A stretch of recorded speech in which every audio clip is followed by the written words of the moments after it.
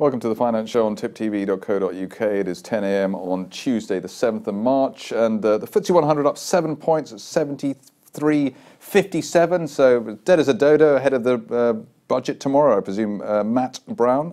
Yeah, nothing to do at the moment. I mean, where's this market going?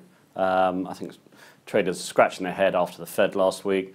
We'll look at non-farm payrolls um, on Friday, but there's no real direction. I think, if anything, miners are pushing the FTSE up a little bit, but it's it's dull, and it will probably be a dull budget tomorrow from Hammond. No. How could that be with such an exciting personality? uh, right, let's look at the slides. Uh, Chem China says Syngenta deal filing accepted by Beijing, which is uh, very nice of them. Apparently, that's a big deal. Yeah, very big deal. I think it's the largest international deal for China that's been going on for months and months. Um, Beijing may have accepted it, but the news flow is a bit unclear with regard to that, and I suspect China will, will just rubber stamp it if the EU Commission agree finally the deal can go ahead, this big agribusiness deal. Okay, let's go on to the next uh, slide, which is uh, miners hit by lower China growth plans, Acacia mining uh, pummeled. Um, so uh, very much on investors' mind. Uh, but um, the mining sector in general been great. So is, is Acacia going to go down against the trend? Yeah, well, Acacia, I mean, it's all about Tanzania and, and, and being able to get gold out of the country. And I think that uh, came as a bit of a surprise uh, for Acacia. So that's the story there. I mean, miners actually have had a few bad sessions. They're, they're trading up a bit on you know, a bit of a bounce this morning. But uh, yeah, not good news for Acacia, and it seems that downward trend will continue for the meantime. Do you think there's, I mean, the, you know, mining stocks have come back a bit because the market's been wrong-footed by the Fed apparently raising rates uh, next week. Mm. I mean, if they really are on two or three uh, notches higher this this year, miners are in the wrong place, aren't they? Yeah, I mean, we're, we're not at the heady highs we saw a few years ago, and they've they've had a good run up since last year um, it might be a time to take some profit off the table in, in, in the miners, or stick to the, the big miners, the BHP Billitons, the Rios, and I think the smaller miners will their margins will be squeezed with a higher interest rate. Certainly for if they have any debt as well, that's that's going to be a big problem for them. Right. Okay. Next slide is. Um, from the Investors Chronicle, at the end of 2016, China's bank assets overtook those of the EU for the first time not difficult really if you look at um, Greece and uh, Italy. In terms of GDP, it had overtaken the EU in 2011, becoming the second biggest economy in the world. The massive increase in bank lending since 2008 means that the financial system has grown relative to the economy, with a total of $33 trillion compared to the EU's $31 trillion and $16 trillion in the US. So uh, no bubble there in China.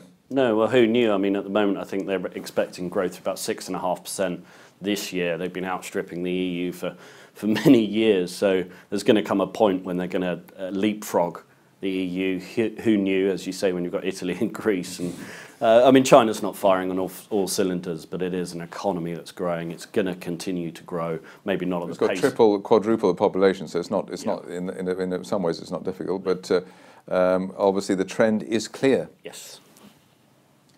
Uh, economic calendar trade balance in the US, uh, US uh, well, the con consumer credit change and uh, GDP analysed from Japan, so not really much on the horizon there. No, like I said, non-farm payrolls at the end of the week is going to be the, the key driver in the market. So any kind of early indications with uh, pre-unemployment or employment data that we get, I think uh, some due out tomorrow or Thursday, um, and then all eyes to Friday. This really isn't going to rock the market. Okay move along to FX sentiment powered by Oanda, and the big changes there going more um, bearish on the euro, so we're roughly 50-50, but it's stuck there between 105 and 106, so I don't think there's much wisdom to glean. Uh, very uh, short on dollar CAD. Um, again, that, until that breaks 130, I suppose there's not really much of a trade on. And uh, very bullish on um, sterling, which uh, sterling on the chart looks as, looks like a sick puppy, doesn't it, at the moment? Yeah, it's certainly sold off you know, against the dollar and, and the euro, so I think it's fallen out of favour. People now probably looking at uh, maybe maybe going long bottom of the ranges, would you say? Well, yes. So good luck with that. But um, the uh, I suppose I think it, it really depends on whether they be, people believe the rate uh, rise next week in the in the US. Mm -hmm. If that is if that comes through, the differential in outlooks with here Carney like remaining ultra low and them going the other way, the divergence uh, should give us you know um, one dollar twenty or lower mm -hmm. quite quickly. But uh, we'll see whether the Fed is bluffing or not uh, next week. Trade the day, intercontinental, intercontinental even, hotels group, daily chart, bearish divergence, rising trend line breached. Uh, so um, sell around 38.50, objective 36.42, and stop loss uh, above 39.50. Um, looks as though it, may, it, makes sense from a technical perspective, but the trend there still looks rather strong, doesn't it? Yeah, intercontinental hotels actually been you know performing quite well. Numbers of late have been good. So, uh, but um, amazing had, good, had good run up. Yes, amazing when you consider Airbnb being around the place. Um, how one would go. I mean, I, I, was looking around the other day. It's hundred pounds plus. Uh, for a hotel room. I mean, it's just uh, wherever you go. I mean, just the, even at the Comfort Inn. uh, so uh, unbelievable prices there. They've still got the pricing power. Yeah. Uh, next up, uh, Dow Jones. Uh, consolidation is underway across the 21,000 level, and that is allowing the 14-day RSI to unwind from overbought. Um, but obviously, it's a brave person who says that this market's going down. But you can see that on this latest spike, the RSI didn't actually go higher than it did in December. So that is a divergence there, which uh, will obviously come into play if we fall, but uh, if we if we just ri- rise against it, uh, not. But it does look a little bit overstretched at the moment, doesn't it? Yeah, I mean definitely with that RSI up there, uh, not as high as December, but um, consolidation it, probably needed. Yeah, and, and and it will be healthy. I think um, investors just take stock and, and decide the next move, but trend does still feel upwards at the moment, yeah. doesn't it?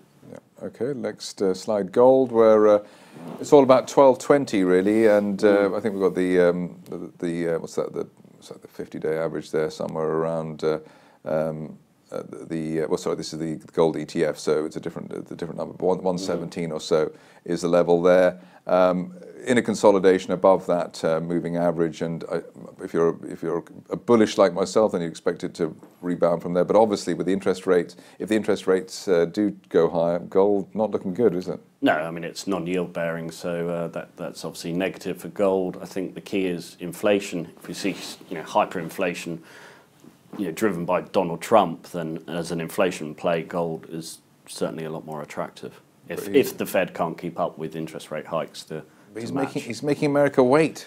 Just uh, yes, going on making on, America wait again. That's right. Let's uh, go for the next slide. Uh, last slide. Broker recommendations. I always like to pick out the people who got it wrong. Um, so that's uh, Credit Suisse today, uh, with an underperform and neutral, and changing their target of for Expo from 120 to 170. I think the share's around 160 now, so uh, zero out of 10 on that. um, Centrica, I would say I'm not not quite as uh, uh, bearish on that. I think it looks as though um, it's built a base in the low, around the 220 area, so maybe neutral is right, but uh, I think the outperform probably was uh, correct before from Credit Suisse. And then finally, um, we have uh, Peel Hunt also getting it wrong uh, with their hold uh, on Admiral. Old target 20 pounds, new target 17 pounds. I'm sure that'll be wrong too. Um, but who, who was to know? Yes, he, he, well, the companies didn't know themselves. So exactly. How, so how, could, how can the brokers? How know? could how could the brokers possibly know that? Always the last to know. Exactly. Yes. But uh, on that note, note uh, Matt Brown, uh, independent market strategist. Thanks for opening the finance show today.